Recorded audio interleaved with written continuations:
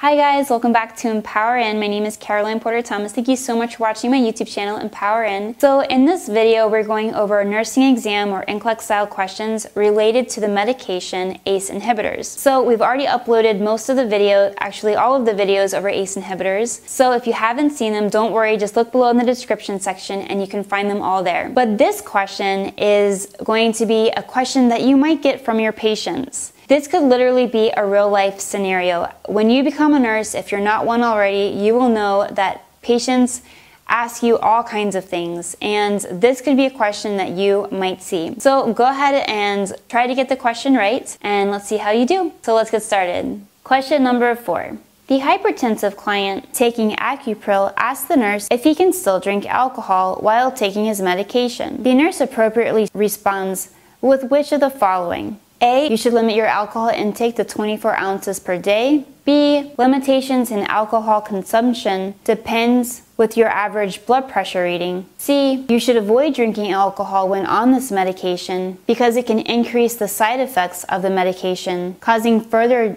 decreases in your blood pressure. Or D. As long as you are able to bring your blood pressure up after lying down with your legs elevated on two pillows, you can drink as much as 8 ounces per day. This is a great example of the type of question that you, the nurse, might get from your patient. He or she may have been too embarrassed and reluctant to ask his doctor this question, but they will ask you. You will discover, if you haven't already, that you, the nurse, represents a picture of trustworthiness to your patients. Always seek proof of the information, though, that you are giving your patient by researching as necessary. Become familiar with the tools at your fingertips. For instance, use the Lexicomp tab on your Pyxis machine when researching a drug if you have it or whichever resource your hospital or facility provides you. When you look up the actions and side effects of the drug to explain to your patient, it is a good idea to print it out for him so that they can have a copy in their hands. Never ever feel bad about having to look up a drug. It is really impossible to mentally store all of the information on all of the drugs you have to administer. And never give a medication that you know nothing about. In this question,